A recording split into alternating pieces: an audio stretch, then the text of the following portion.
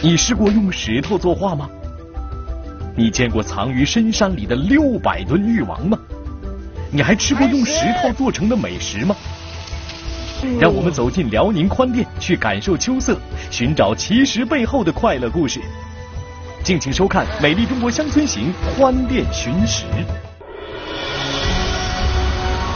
望得见山，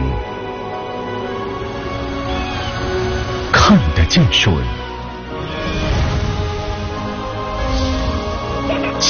住乡愁。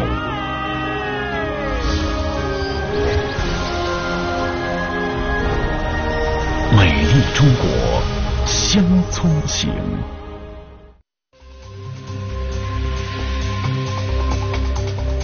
辽宁省丹东市宽甸满族自治县地处辽宁东部沿海之滨，是个风景如画、四季分明的旅游胜地。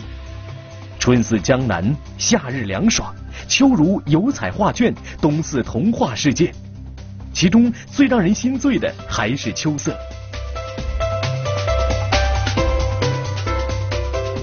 暮秋之际，宽甸别有洞天。在清澈的蓝天白云之下，蔓延着神秘的绿江红海。宽甸的秋天就像是一个金色的世界，你看，我眼前就像是一幅油画，让人陶醉。那我呢，也是情不自禁的想把它留在画布上。这样的景色啊，在宽甸并不是单指某一处，而是漫山遍野，到处都是。对了，尤其是清晨和傍晚，当金色的阳光泼洒在广阔的山峦上，一座座山峰就像是一个个巨大的宝藏。而在宝藏之中呢，还有一些火红的跳动的火焰，非常的漂亮。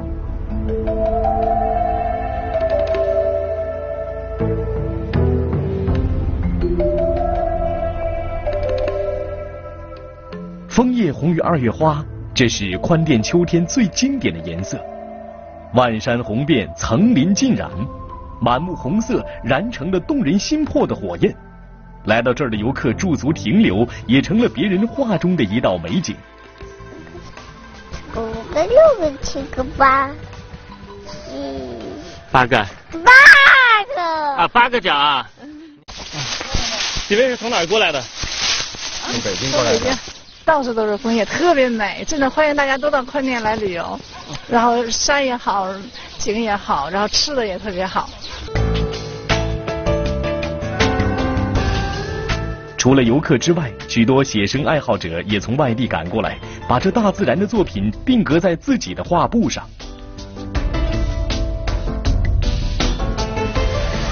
你们从哪过来的？从大连。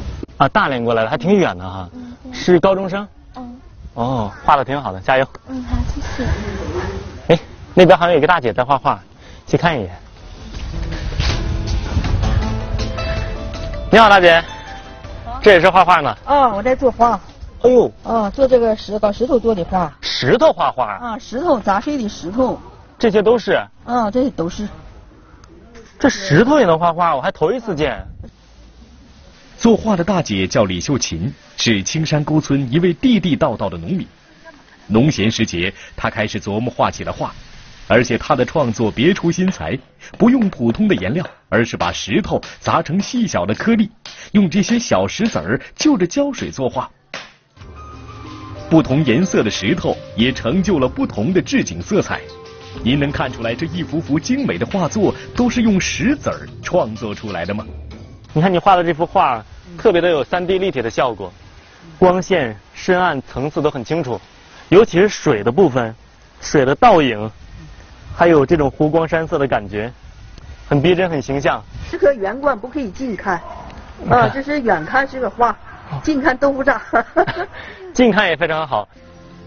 用石头作画其实很费力，最短一天，长的要好几个月。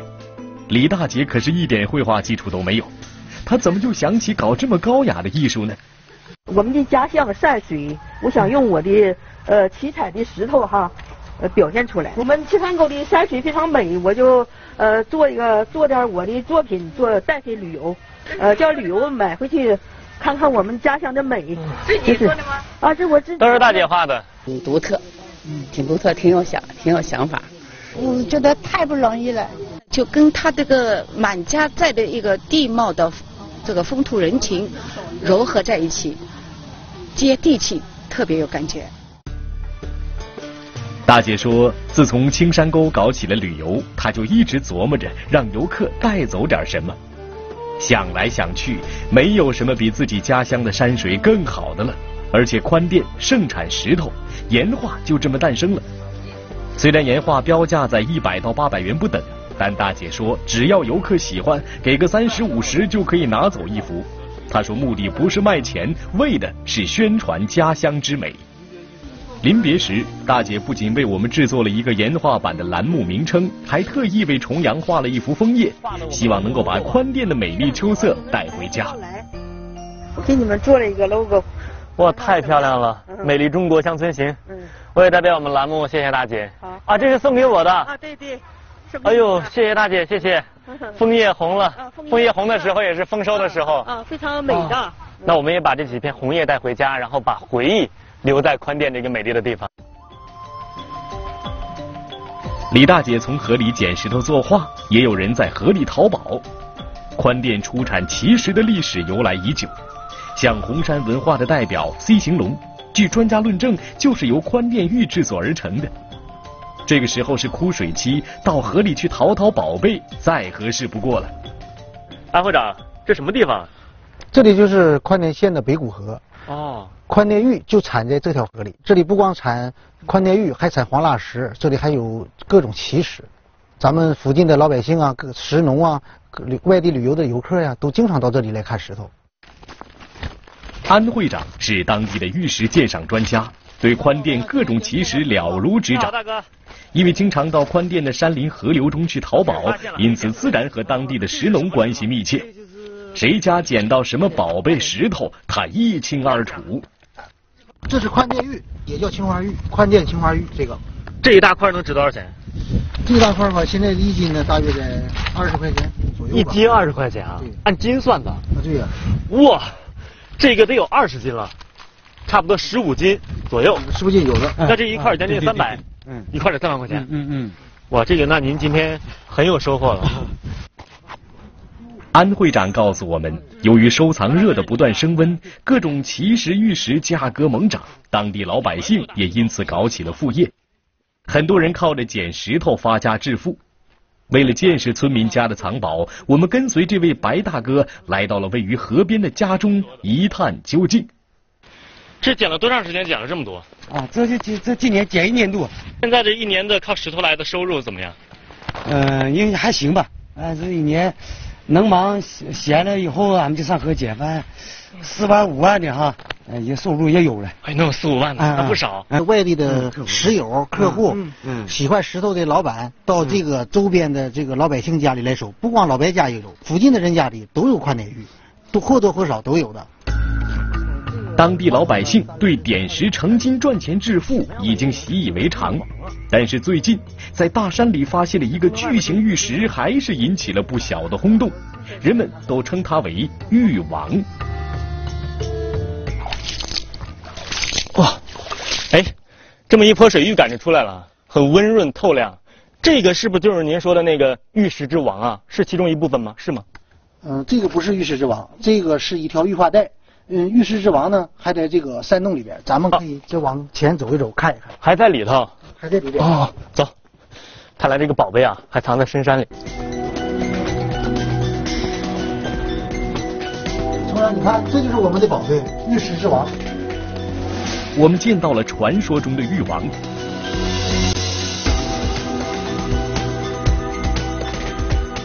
这是一个单体玉石。在这个外边呢，包裹的包裹的是滑石，呃，里里边是玉石。这什么玉啊？嗯，石人岩玉。哎，难怪称之为玉王哈。你看，在这边它的外面的皮呢都是滑石粉，这个能很清楚的看见它的厚度，而里面都是石纹岩玉的玉体，啊，硬度大概能到六左右啊。达到这个位置看，这是不是就出来玉石了？哦，这个光晕会发生变化。哎，你看这个这个地方看一看，嗯。照到它的表皮的时候，它是比较有一点发黄，然后如果照在这个玉体上呢，它是有点发绿，就是翠绿色哈。哎，对，翠绿翠绿，说这个这个玉石比较纯嘛。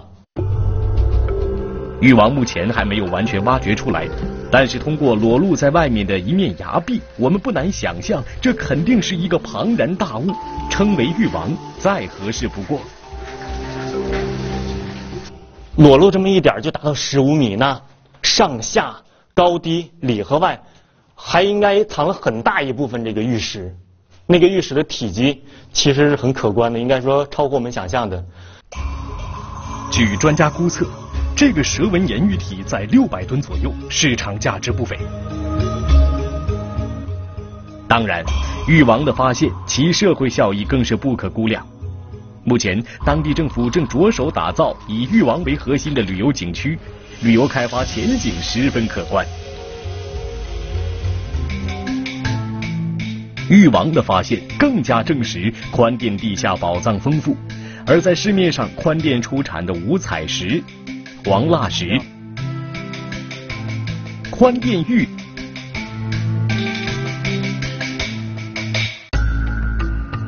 玉树石已经成为收藏新宠，其中神奇的玉树石更是宽甸特有。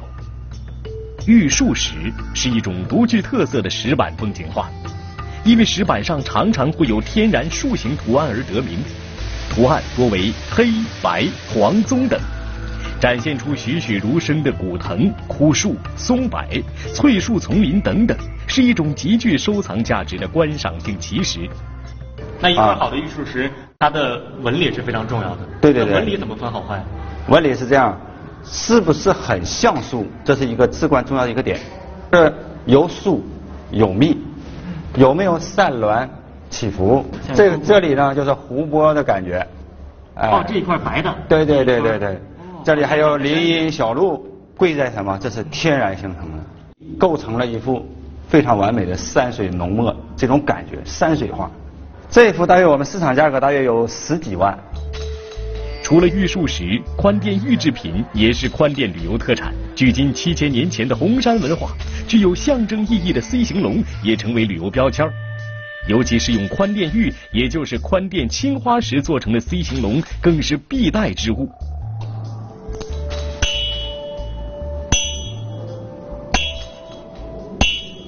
我现在手上拿的是一个。C 型龙是六千年前红山文化出土的典型代表。那据考证，当年的 C 型龙呢，它的材质就是来自宽甸的宽甸玉。宽甸玉的韧性怎么样？宽甸玉的韧性与新疆和田玉的韧性差不多。嗯，这就是用我们宽甸玉打的一个珠子。为什么要叫它会跳舞的玉呢？我重阳，我给你演示一下。啊，怎么跳啊？哎，你看一下啊。哎，哎哎，你要摔啊？哇，你看，我能跳这么高？是啊，因为它的韧性非常好，不会摔裂的。这宽甸玉能跳这么高，难怪叫会跳舞的玉啊！你们之前见过这样的玉吗？头一回见着这个玉还敢摔，来试一下，大伙儿试一下。在这试一下。为了让游客亲身体验一下摔玉的刺激，重阳让周边的游客也参与到了互动中来。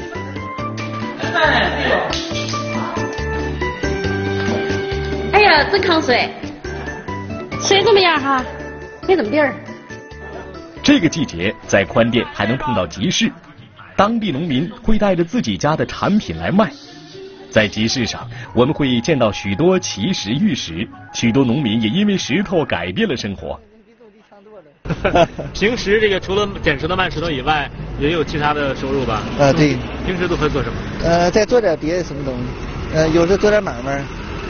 干那个干点那个建筑之类，但是也不如这个。嗯，这个如果能捡到的话，还是这个这个挺挣钱。石头不仅能作画、能收藏，而且还能变成吃的。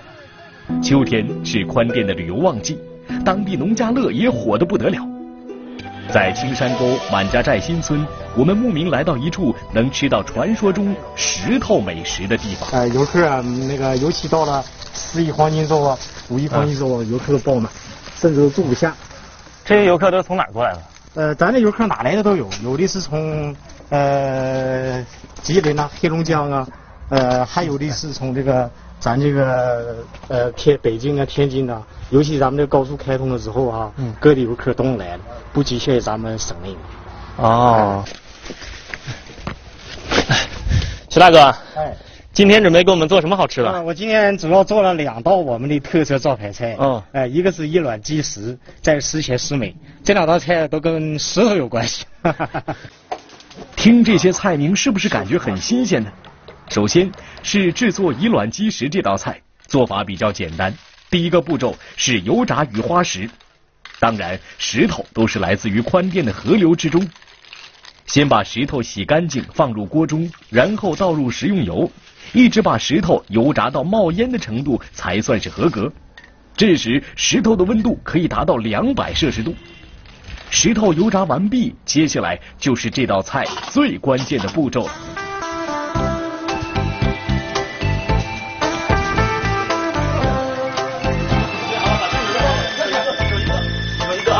热腾腾的石头，把鸡蛋准备好啊！以卵击石，准备开始。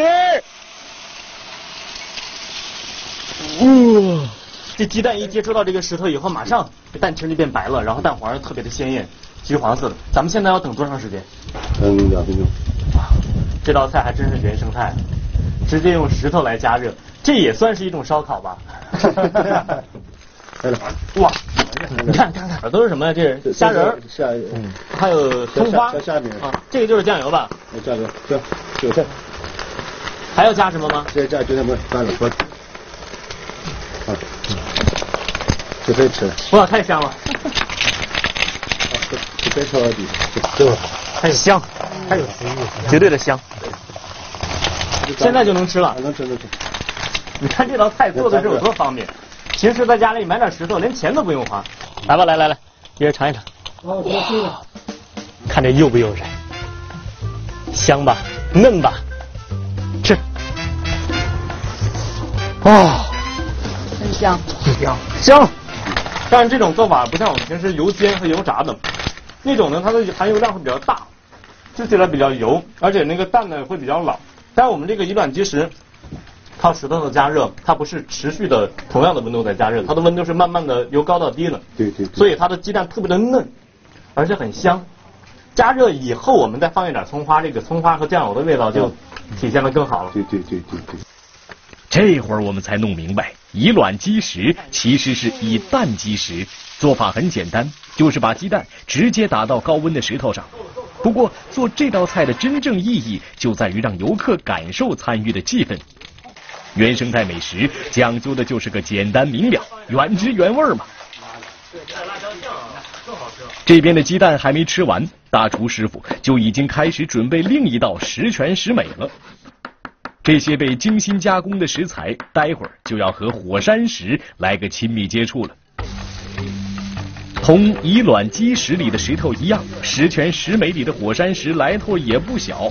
那可是八百万年前火山喷发形成的火山岩，而用火山岩切成的石板来烤肉，吃法是不是很新鲜呢？徐大哥特意给我们准备了山里的牛肉来作为食材，看这烤制的过程是不是很诱人呢？哇，香！其实烧烤最重要的就是要把肉本身的香味儿给它烤出来，而这样的方式呢，好像比普通的烧烤的炭火味儿、炭香味儿要少一些，但是纯正的肉香更醇厚了。徐大哥告诉我们，火山石的导热性和吸附能力都很强，因此食物在烧烤过程中受热均匀，而且很少产生油烟，不用担心食物被炭黑或者炭燃烧之后产生的灰烬所污染。老板，我觉得你这两道经典的家常菜，这个以卵击石还有十全十美，这个钱赚的太巧了，基本上都属于是顾客自己做的。为了满足游客的口味，但这种感觉特别棒。在秋天的宽甸，我们感受到的是一种枫叶般的热情与喜庆。徐军大哥的农家乐蒸蒸日上。李大姐终于让游客带走了自己的家乡山水画，村民点石成金，更加丰衣足食。玉王的发掘似乎更加坚定了人们追求新生活的信心。都说一方山水养一方人，宽甸的富饶山水大概也只有这样一群可爱的人们才值得拥有吧。宽甸的秋色是短暂的，但宽甸人的热情和淳朴却是长久的。无论是作画的李大姐，还是做出一道道美食的徐大哥，无论是会跳舞的玉，还是一个个美丽的玉石传说，都让我感受到宽甸独特的魅力。虽然我们这一次的旅行就要结束了，但是我们也会带着宽甸人的热情和回忆，开启我们接下来的旅程。美丽中国行，生态乡村游，我们继续出发喽！